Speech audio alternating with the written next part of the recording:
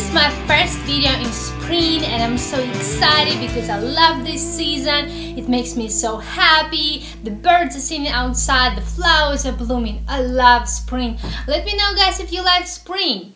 In this video, I'm going to review The Last Song by Nicholas Sparks book and I've just finished reading it today. It's very fresh in my mind and I really want to tell you about this book um, maybe to inspire you to read it uh, later on. But uh, this book is written by American novelist and he has written 17 books and I've read a few of them and I usually like the way he writes. It's very interesting and you read it fast.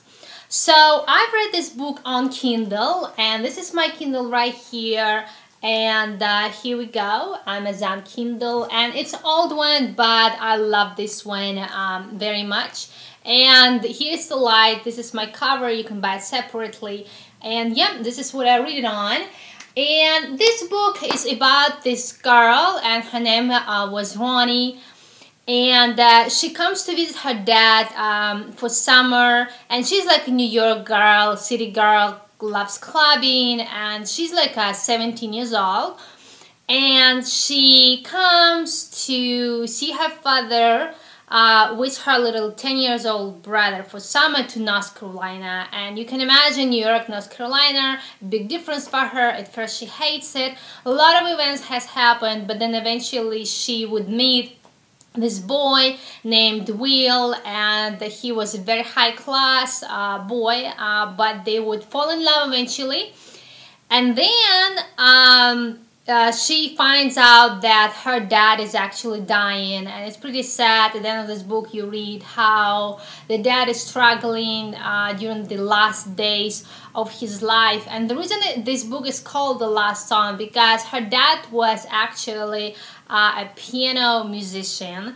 And at the end of this book he actually writes this song and he struggled to finish it and then Ronnie eventually finishes for him well, um, Ronnie's parents got divorced and uh, she uh, quit playing piano. And then at the end of the book um, because of her dad died and after she learned how much her dad actually loves her after spending the whole summer with him uh, she uh, goes ahead and starts playing piano again but uh, it's been, you know, a very eventful book. I would totally recommend to read it. I'm not definitely telling you everything uh, about it because then it wouldn't be interesting for you guys. But uh, and then her dad dies and it's pretty sad. But her dad does hear her playing to him this last song that she actually finished it for him and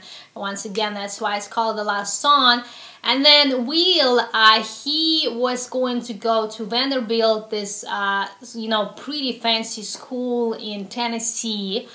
Uh, but she, you know, she is in New York, and so they were separated, but then eventually he um, transferred to Columbia University, New York, and now they're going to be back together. Kind of happy ending. That's exactly what uh, we all want and I want to um, read you uh, the last uh, few uh, words they said to each other after they kissed and everything and um, he said to her, I never stopped loving you, Ronnie, and I never stopped thinking about you, even if summers do come to an end. She smiled, knowing he was telling the truth. I love you too, Will Blakelee, she whispered leaning in to kiss him again. So you know pretty romantic and I absolutely love the end.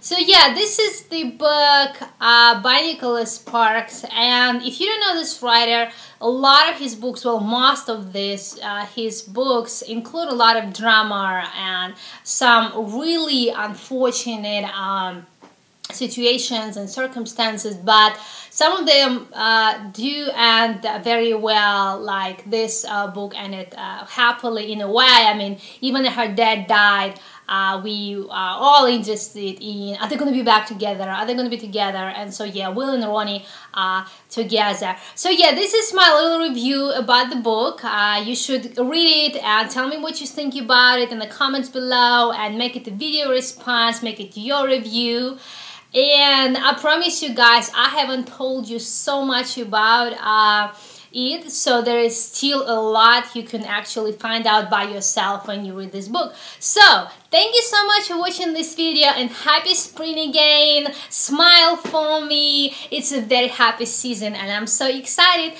Well i'll talk to you guys in my next video. Bye bye